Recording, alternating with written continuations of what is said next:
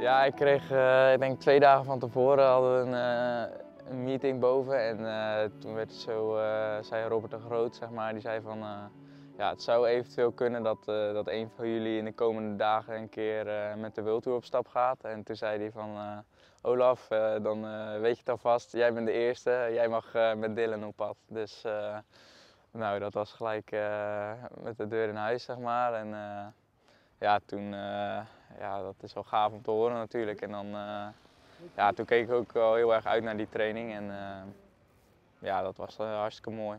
Ja, gisteren was ik dan met Olaf, die, die ging mee, dus dat was wel gezellig. Je bent natuurlijk ook zelf met je training bezig, maar ja, het is wel gewoon leuk dat je dan ook een beetje kan, ja, een beetje competitie onderling hebt. En ja, dan vraagt hij wat dingetjes waar hij misschien weer wat van leert. Dus het is toch ook weer de toekomst hè, van de ploeg hopelijk. Ik kijk toch wel een beetje op tegen die mannen en maar ja, om dan zo dichtbij te zijn, dat, uh, ja, dat is wel super gaaf. De afgelopen jaren zie je ze allemaal op tv en uh, ja, sta je er eigenlijk nog ver vanaf, zeg maar. En uh, is het echt een ver van je bedshow. En nu, nu sta je op, loop je naar het ontbijt en dan zit je aan tafel naast, naast die mannen. En dat is natuurlijk ja, super vet. En ja, dat is natuurlijk hartstikke speciaal.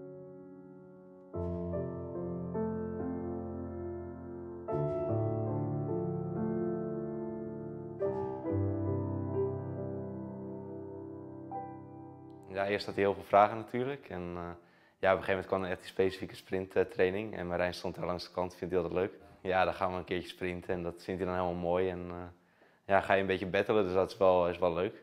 Dus dan haal je elkaar ook weer naar een hoger niveau, haalde hij weer hele hoge waardes. Ja, dat vond hij weer allemaal prachtig. Dus uh, nee, stelde hij af en toe wat vragen tussendoor, dus dat was wel een leuke training. Ja, gewoon over alles, over sprints, hoe het naar een sprint toe gaat in de voorbereiding. of ik dat soort trainingen vaak doe, of ik krachttraining vaak doe. Ja, ik vond dat soort dingetjes. Ja, dat, uh, die, daar, daar, heb je de laatste jaren gewoon uh, naar gekeken in de Tour de France. En uh, ja, dan zie je etappes winnen en dan denk je van, goh, dat is wel, dat is wel heel speciaal. En dan, dan krijg je te horen dat je zomaar even een training met hem mee mag doen. Ja, dat is wel super speciaal natuurlijk. Ja, ik denk dat dit natuurlijk wel veel beter is. Hè. Dit is ja, het staat een beetje onder de wildtoerploeg. En ja, die jongens kunnen dan hier een beetje afkijken van hoe wij te werk gaan. Um, ja, ik had dat bij de Rijk, was natuurlijk echt continentale ploeg. En was het allemaal een beetje op zich. Maar ik denk dat het heel goed dat ze hier er gewoon bij zijn en dat ze ja, er een beetje van kunnen proeven hoe het is om prof te zijn. En daar langzaam naartoe kunnen groeien. Door heel af en toe een beetje die, ja, die prikkels van training mee te doen. Ja, je vraagt van alles, van, uh, van training tot, uh, tot wedstrijd zeg maar. En gewoon hoe hij bepaalde dingen aanpakt. hoe hij denkt beter te worden bijvoorbeeld en zijn sprint te kunnen verbeteren. Want ja, dat heeft hij tot nu toe nog altijd gedaan zeg maar. En, vergeleken met hem sta ik natuurlijk nog, uh, nog aan het begin van mijn carrière. En uh, ja, hij heeft dat ook gehad. Hij is ook belofte geweest en hij weet ook, ja, hij heeft ook die stappen moeten zetten richting de profs natuurlijk. En ja, er zijn een heel, veel, heel veel vragen die hem dan stelt. En ja, ik ben blij dat hij, dat hij dat ook mooi vindt. En ja, ook zeker dankbaar dat hij, dat hij mij meegenomen heeft die dag, zeg maar. En, en zoveel heeft kunnen leren.